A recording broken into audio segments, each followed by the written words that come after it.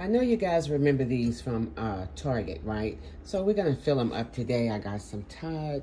And you know, I think it was really a good deal. I'm thinking it was like $20. Hey, I just want to remind you of the Virtual Vision Board Workshop. $5 only. I will leave information below. It's four bags in here.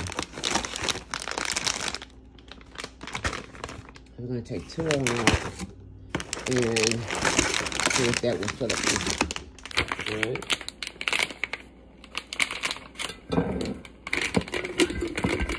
And while we at it, guys, we have a awesome, awesome, awesome vision board experience coming up, and I want you guys to join us.